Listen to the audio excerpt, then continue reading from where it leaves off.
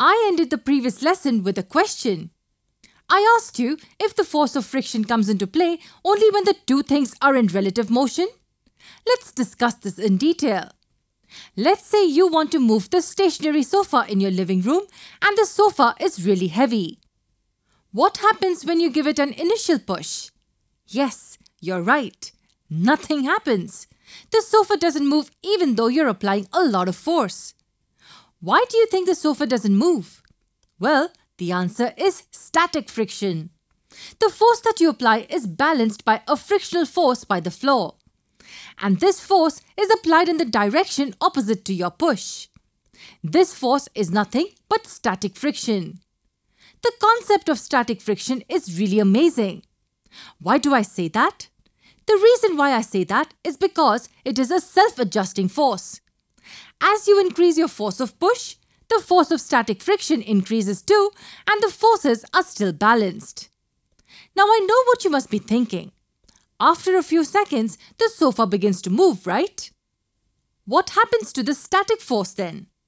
Let's discuss this with the help of a simple graph. We assume that the force you apply is a horizontal force represented by the x-axis.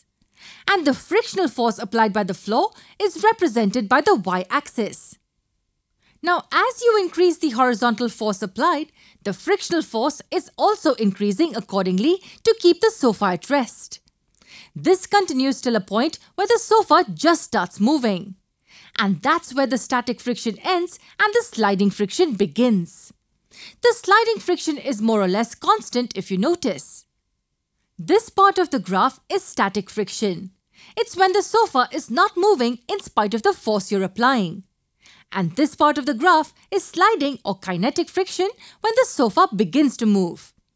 The point around which the sofa just begins the movement is called the breakaway point.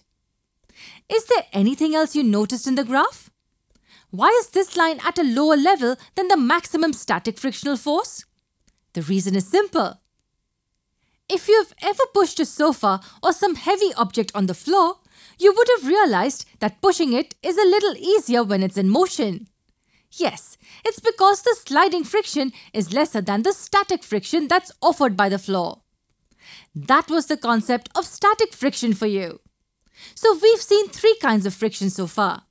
Static friction, sliding friction and rolling friction. Can you place them in the increasing order of force being applied by each? Yes, static friction is more than the sliding friction, which will be more than the rolling friction. In all the examples we've seen so far, we've only considered friction between solid parts. Ball on a floor, box on a table or roller skates on the ground. In all cases, both the objects were solid. Does friction come into play only when solid parts are involved? Is there any other kind of friction we haven't seen yet? Do watch our next video to know more.